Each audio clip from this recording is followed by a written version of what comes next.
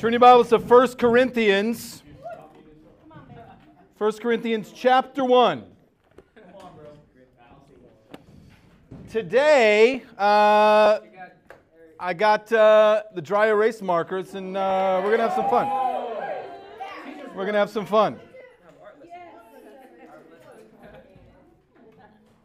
So, the Bible says that there are two ways to be wise.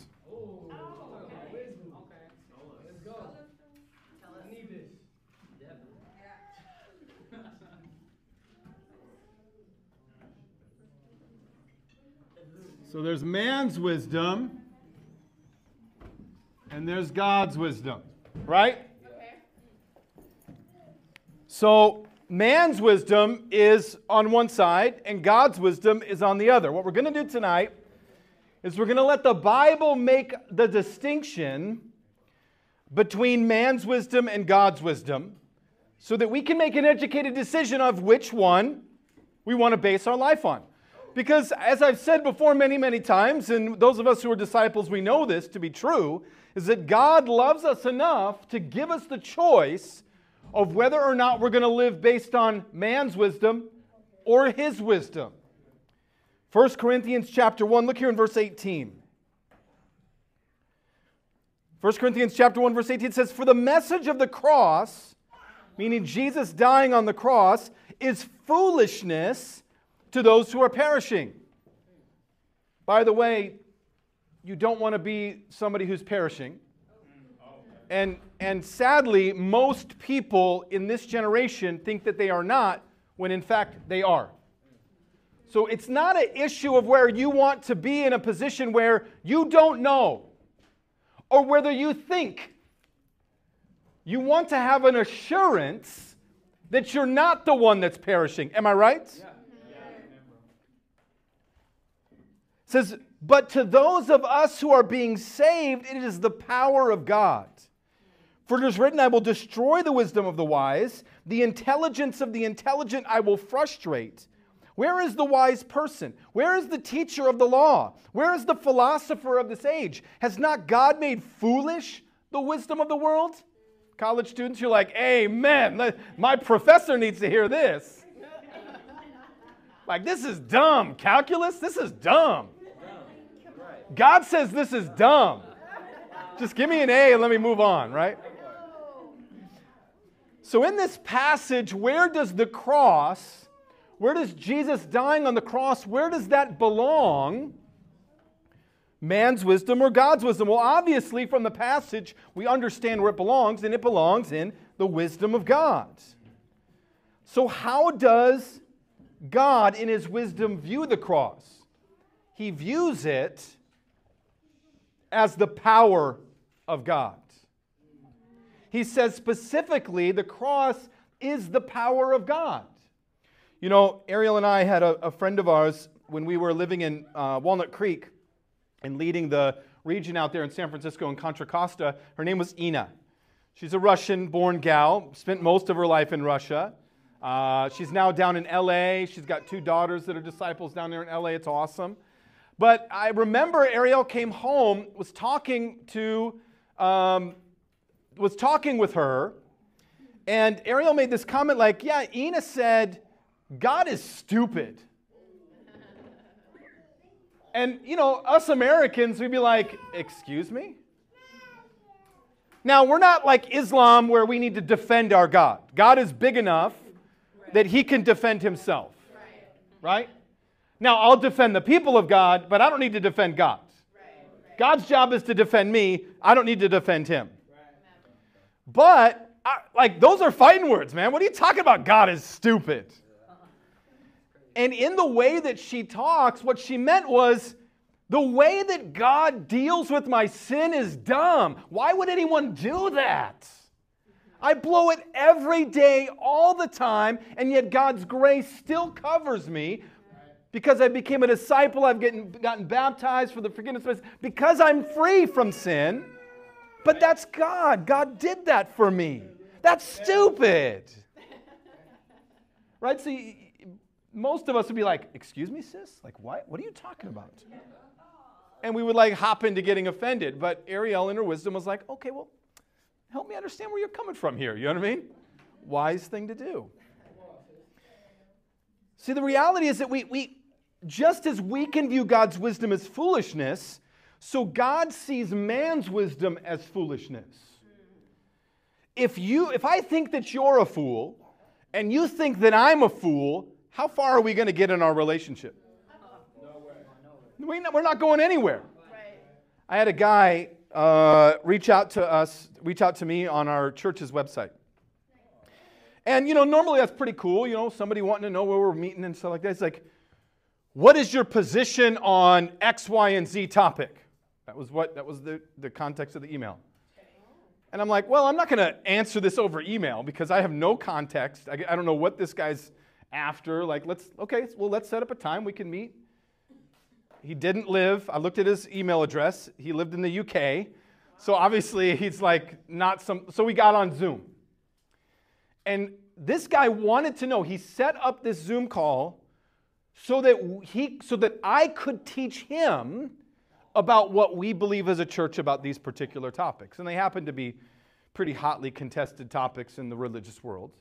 Uh, not hotly contested topics in the Bible. The Bible's pretty clear about it which I had all the confidence that I could teach him what he needed to be taught. But the reality is that as we got into the conversation, he, he was not even willing to pray with me. I'm like, hey, let's pray before we start this Bible study. I don't need to pray with you. Okay. I'm like, oh, oh okay. I, I, I see how this is going to go. He's like, hey, if you want to like stop the Zoom and come back in an hour after you've had an, ad, an opportunity to pray about this, you should have prayed before we got here. And I'm like, okay, uh, I did, but I thought it might be nice for the two of us to do so. But hey, you know, amen. You know, I'm trying to be cool. You know what I mean? I'm trying to, you know, win the guy over a little bit. You know. Uh, so long story short, he had no interest in me answering any questions of his.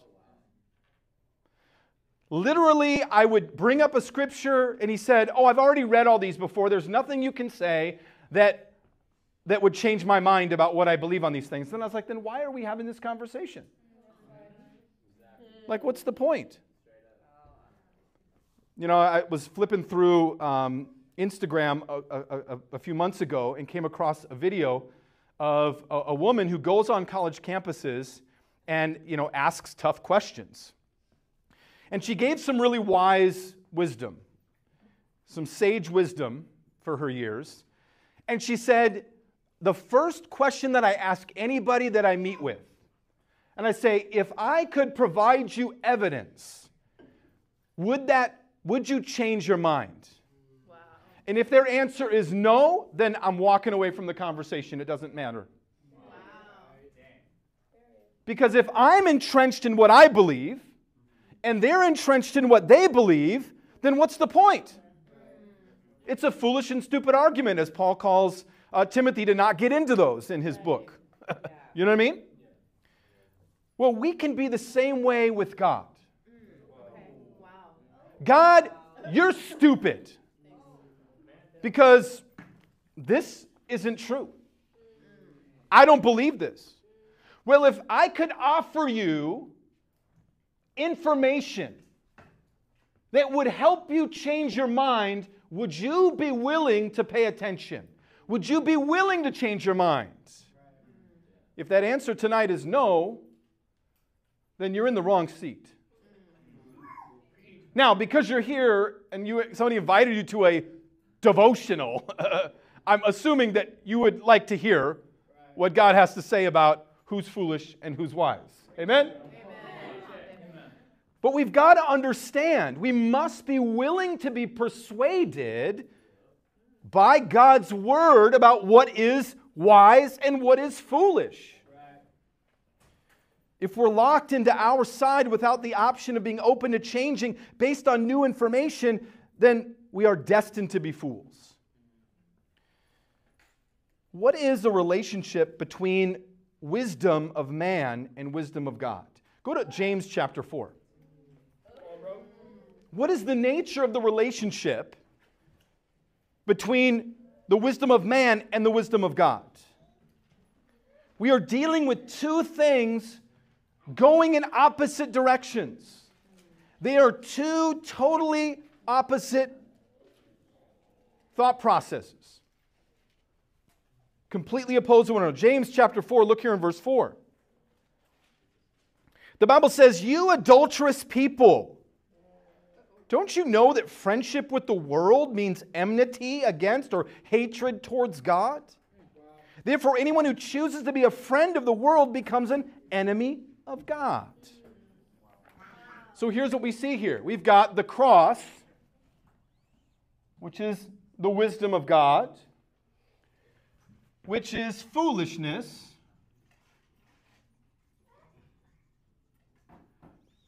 According to man's wisdom, but according to God,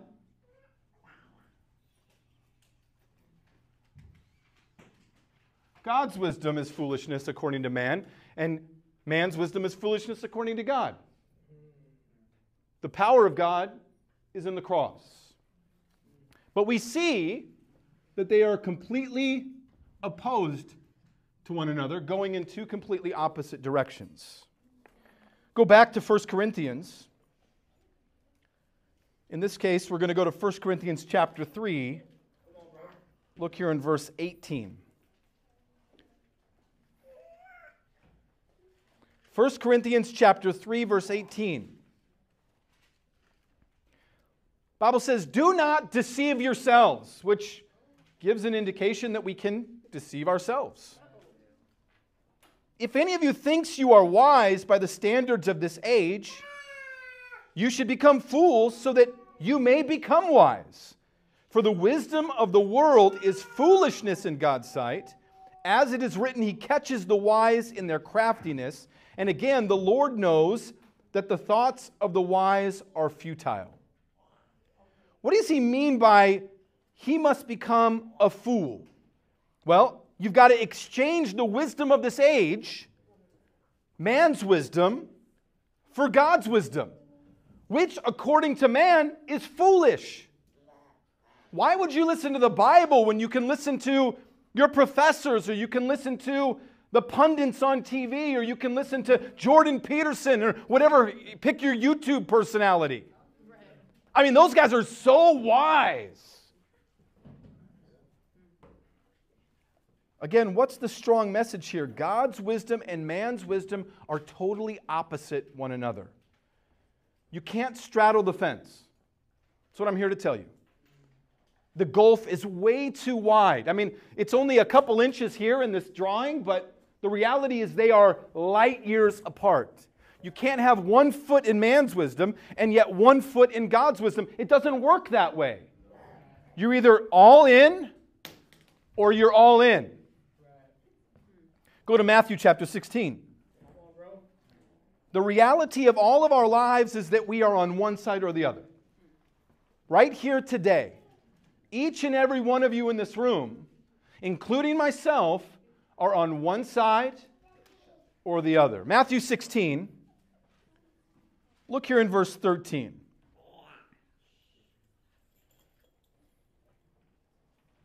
Matthew 16, verse 13 says, When Jesus came to the region of Caesarea Philippi, he asked his disciples, Who do the people say the Son of Man is? They replied, Well, some say John the Baptist, others say Elijah, and still others Jeremiah or one of the prophets. But what about you? He asked, Who do you say I am? Simon Peter answered, You are the Messiah, the Son of the living God. Jesus replied, Blessed are you, Simon, I love this, son of Jonah, for this was not revealed to you by flesh and blood, but by my Father in heaven. What Jesus is saying here is like, Hey, Peter, you are not smart enough to figure that one out on your own, buddy. That came from God. And Simon is like, Yeah, you're right. you know. And I tell you that you are Peter, and on this rock I will build my church, and the gates of Hades will not overcome it.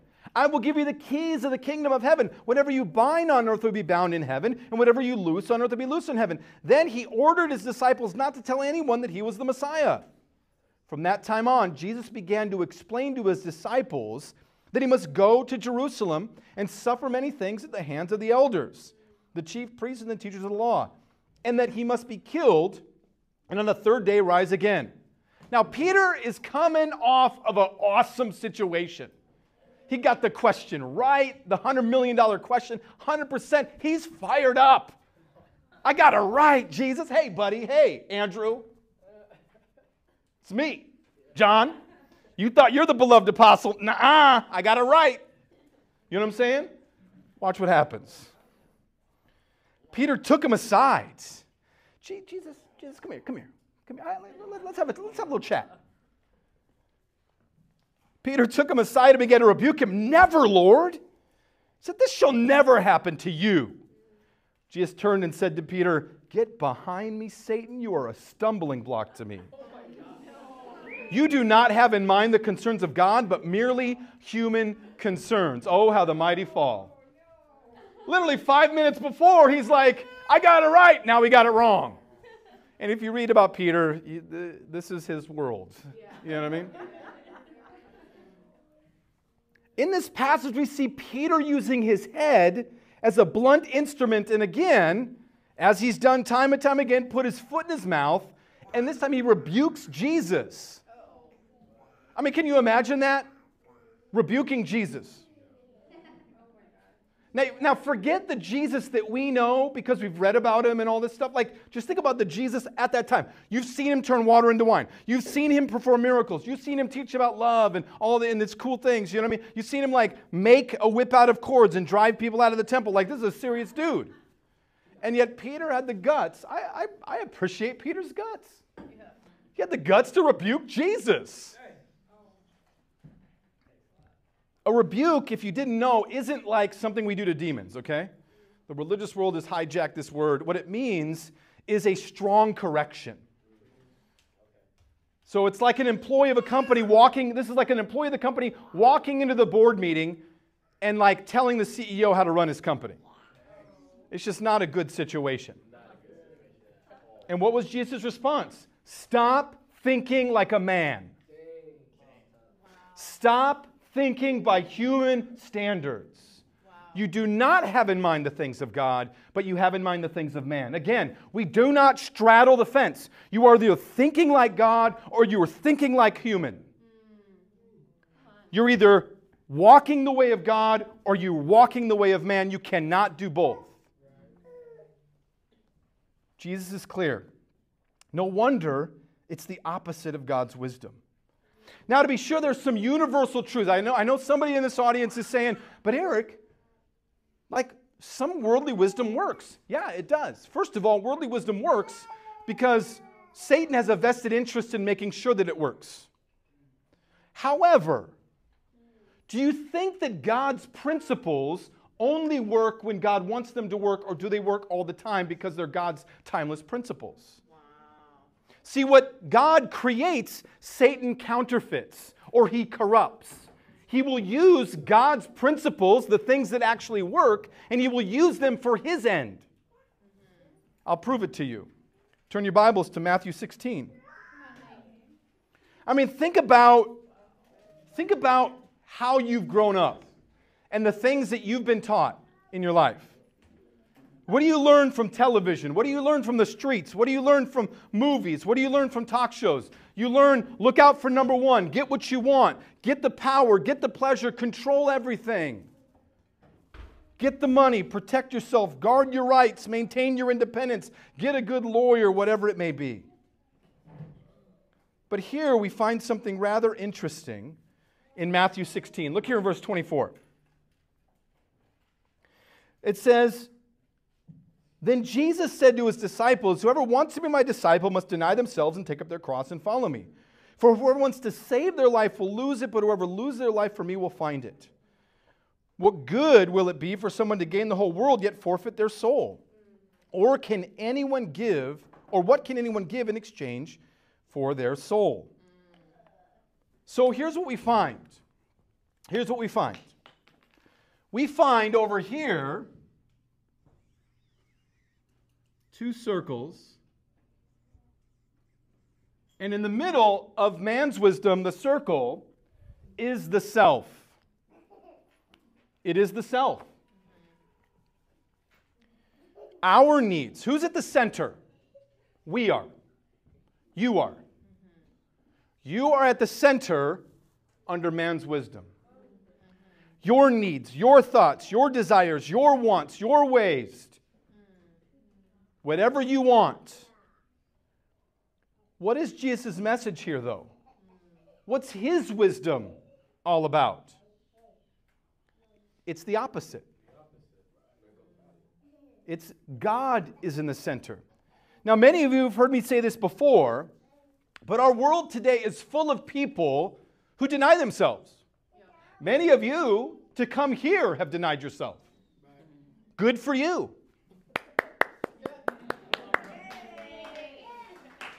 That's awesome. But who did you deny yourself for? That's the question.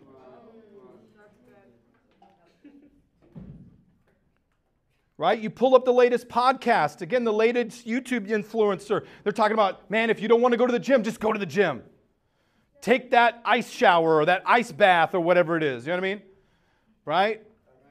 Hey, hey, save your money. Don't just spend it frivolously. Right? All that's denial of self. Because what do we want to do? We want to sleep in. We don't want to go to the gym. We want to eat the whole pizza pizza, not a salad. You know what I'm saying? We want to spend, I, hey, I grew up, here's the refrain my parents told me every day when I grew up, as I was growing up. Hey, man, I really would like to have that. Save your money. Hey, hey, hey, dad, can I save your money? Save your money. So when I got old enough and I got a paycheck, do you know what I did with my money? No. I spent all of it and I'll out my age a little bit, I spent it on CDs. Actually, I spent it on tapes before that, but CDs mostly. All right? But the reality is that we, we do deny ourselves. We deny ourselves every day. We got some parents in the room. Y'all, we're denying ourselves every second of every day. But who's who are we denying ourselves for? Notice what he says. He says, Whoever wants to save their life will lose it, but whoever loses their life for me will save it. So it's not just simply denying yourself, it's denying yourself for the sake of Christ. It's losing your life for Christ. What is Jesus' message? Do it for me. Don't do it for you. Now, sometimes that matches, and it's a wonderful thing. Sometimes what I want to do is what God wants me to do. Right. Amen to that. Yay. But not always. And in that case, it's not really denying myself because I want to do it anyway. So it's, it's only denial of self when you don't want to do it and you do it anyway. This is definitely a radical message. Let's break it down a little further. What does it mean then to deny yourself? Well, the Greek root word is eranoni, which means to disown. It means to disown. What does it mean if you disown your parents or you disown your son or your daughter. What is, that, that, that means that, that you don't spend time with them, that you don't give them money, you don't give them riches, you don't, you don't, you don't do anything for them. Not right now.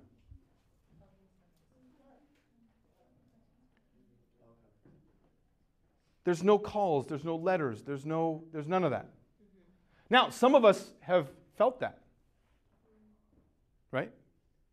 Some of us have felt that that disowning of our family, the disowning of somebody in our life. Mm-hmm.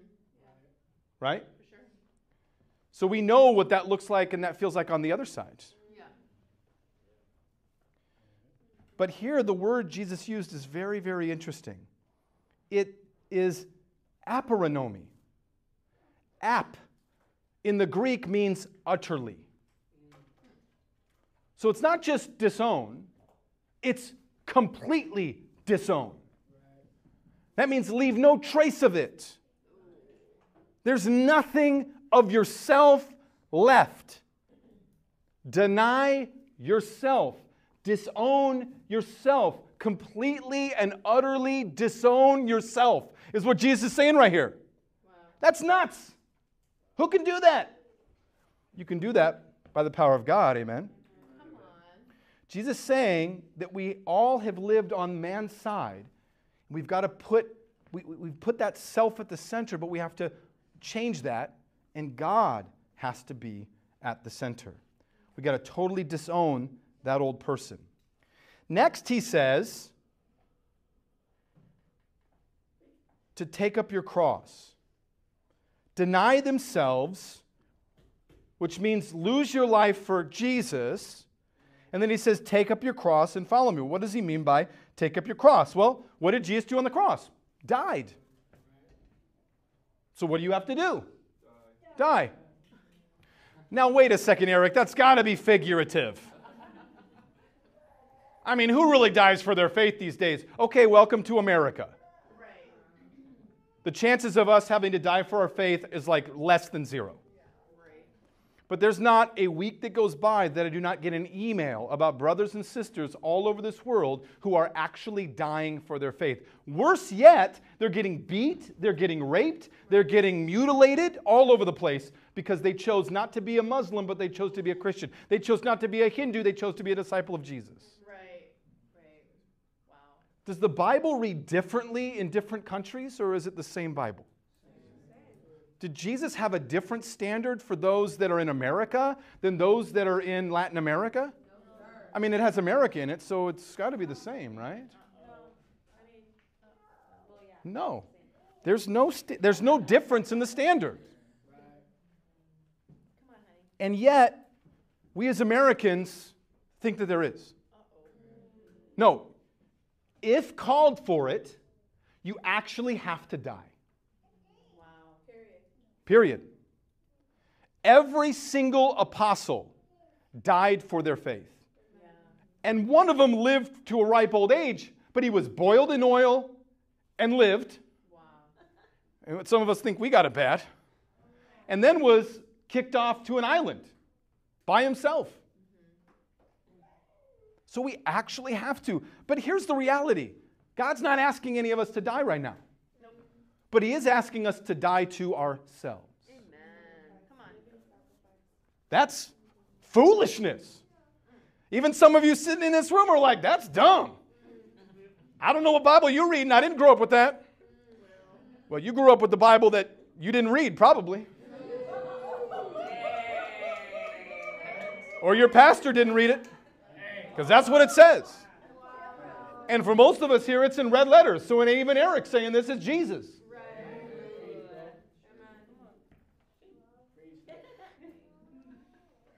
Now you understand when he says to totally disown yourself. What about take up your cross? We talked about that. What about follow me? You cannot follow Jesus without doing the things we just mentioned. I mean, isn't that what he said? He said, Whoever wants to be my disciple must deny themselves and take up their cross daily and follow me, for whoever wants to save life will. He said, If you want to. This isn't even that you are. This is the cover charge to being a disciple of Jesus. Elsewhere, he says, if you don't do certain things, you cannot be my disciple. Write this down Luke 14, Luke 9. You cannot be a disciple. When Jesus says you cannot, does that mean like, oh, with, with, with man this is impossible, with God all things are possible, so I actually can? No, that means Jesus saying, You can't. And he's telling us to do things very similar to this. It's tough. This is a radical, radical, radical following that Jesus is calling us to. And it's absolute foolishness. But to God, to those of us who are being saved, it's the power of God.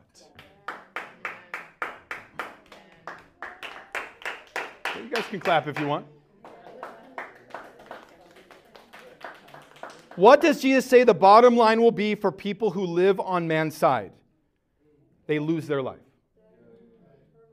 They lose their life. You might be able to live it up on this earth, have a good time, but you won't have, a, you won't have eternal life with God. This is what I tell people all the time. Like, hey, if you don't want to be a Christian, totally cool. Like, I'm sad, I'm bummed. But like totally cool. God loves you enough that you can go and live the way that you want. Mm-hmm. And let me tell you, don't fake it. Like, go all out. Go to every party, drink every drink, take every drug, do everything you want to do. Watch every Netflix film you could possibly imagine. Do it all. Just don't call yourself a Christian because you make my life more miserable because now I have to deal with your hypocrisy and try to talk people into this. We were, Jay and I were having a Bible study with a guy just this other day, supposed to be here. And, uh, and his big thing was, why do I have to go to church? And I'm like, well, he's like, isn't this church? I was like, yeah, it is. But that's not all church. It's like 25% church. He's like, well, I, I, you know, I, I just, I don't see the correlation. And I'm like, okay, well, let's look at Colossians chapter 1. Colossians chapter 1 says that Christ is the head of the church. So if I cut off the head and I'm the body, how long is that body going to live? It's not going to live, right? not too long is an understatement, right? It's, it's just not. It's dead. You know what I mean? Now, if I cut my finger off, there's a point in time where that finger's still allowable to like get sewed back on. I'll never have it fully 100%, but at least it can come back on and I can have some range of motion. But you cannot have a relationship with Jesus and not have a relationship with his body. The reality for this man is that it was foolishness to do it God's way. It's foolishness to do it God's way. And yet he wasn't even willing to try to do it God's way. He was stuck. He was stuck in his foolishness. The bottom line for those foolish people who lose their lives for his sake is they will actually find their life. All of us are not living our real life. If you're not a disciple of Jesus today, you're living a fake life. You're not living a real life. And you know it. You know you're living a fake life because you go and hang out with fake friends. You, you go and, and fake it in your classes. You go and fake it at work. You're, you're not happy. You fake happiness. Why? Because deep down inside, you know that you're not living God's way. You know there's something wrong. I did. I did growing up. I wanted to have a relationship with God, I, I wanted to uh, uh, be close to God. But I had no one in my life to teach me what this Bible said. And for the lack of, you, know, you, you try to read it, but unless someone guides me, as it says in Acts chapter 8, how can I understand it? And so God moved me from Alaska to Southern California to live with my brother in law and sister so that my brother in law could study the Bible with me and I could see the truth and actually live a life, actually save my life, actually get it back, and really live. Jesus' own death, burial, and resurrection is proof of what he taught. So, here's the diagram as we've looked at it so far. We've got God's wisdom, we've got God's wisdom, we've got man's wisdom. We know that the cross is the power of God, which is foolishness to man, but we know that man's wisdom is foolishness to God. Am I right? Yeah. We know that at the center of man's wisdom is the self. We do what we want to do. And so, here, I'm going to save my life. Right? And what am I going to end up doing? I'm going to end up losing it. But over here, with God's wisdom, I'm actually going to take up my cross. Right? And I'm going to lose my life. And what's going to be the outcome? I'm actually going to save it. I'm going to save it. few additional thoughts as we wrap up. What is everything on this side of the column called? It's a three letter word, starts with an S, ends in an N, has an I in the middle. Sin. What is everything on this side called? Love. Sin and love. Living a life of love. Go to Acts chapter 2 love for God, love for others, living for God and living for others. Acts chapter 2.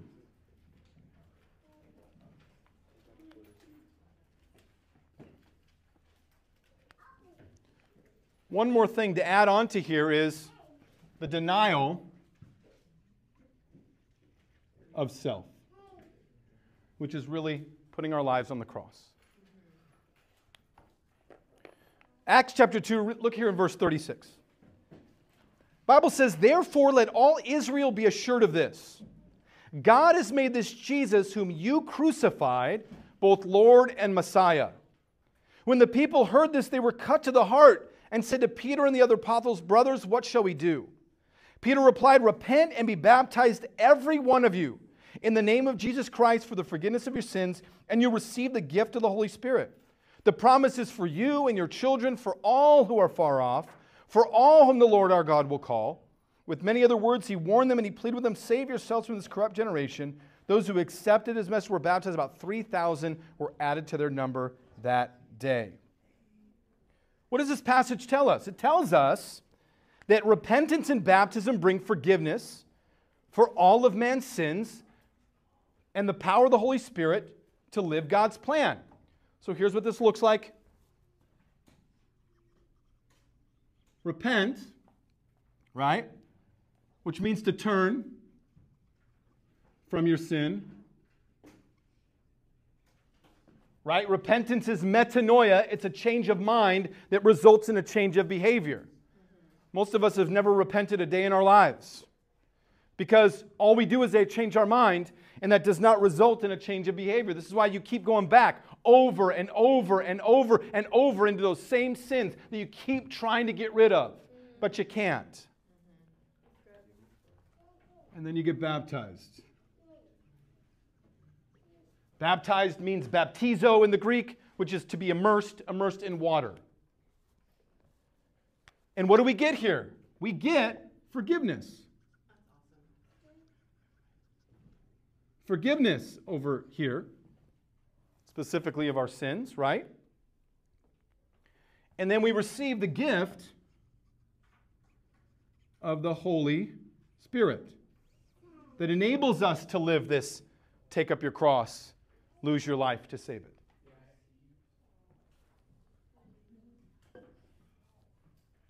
The reality is that anybody can be baptized. But if you haven't repented, that baptism is just you getting wet. I can remember vividly at 13 years of age getting a nice flowing blue gown on. I only wore a dress twice in my life. That was the first one. The second one, if you look on my Facebook page, you might see back in October 31st of 2007 or something like that.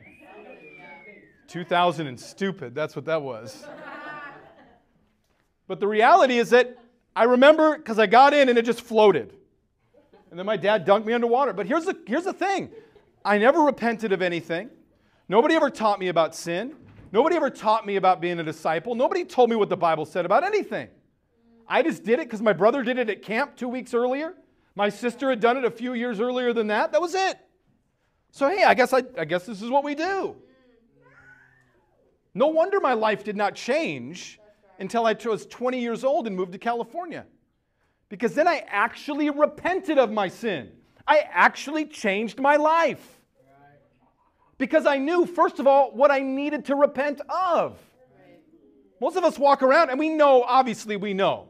If we're sleeping around, doing drugs, I mean, there's like the pick the big ones, right? You already know you need to repent of that, so just do so. But it's deeper than that. It's not just stopping doing wrong. Repentance is stopping doing wrong and starting to do right. But how do you know where to do right? It only comes from God's wisdom. But if you're living over here, you know nothing about God's wisdom. So let's make it a little personal. Not that it hasn't been already. Question for you to answer on your own How have you lived according to man's wisdom? What are your greatest tendencies in that direction? Meaning, what are the areas of your life that you need to repent of? Which side was Peter on? Here's an even deeper question Which side would Jesus say that you're on? Which one do you want to be on more? My challenge to each and every one of us tonight, especially those of us that are not baptized disciples, is you've got to get into the Word of God in order to understand God's wisdom. You cannot live this out on your own. And trust me, you know your lives, you know that you've been trying to live it out on your own. And let me tell you something, it ain't working out. So you have a choice. You can keep living over here, and you're going to keep getting the same results. It's not going to change. Or you can repent, metanoia, change your mind, which results in a change of your behavior. Learn what the Bible says about God's wisdom. How do you know what God's plan is? You got to get into the Bible. It's the only thing that's going to change your life. So that's my challenge for you tonight is live by God's wisdom and not by man's wisdom. Amen. Amen. Amen.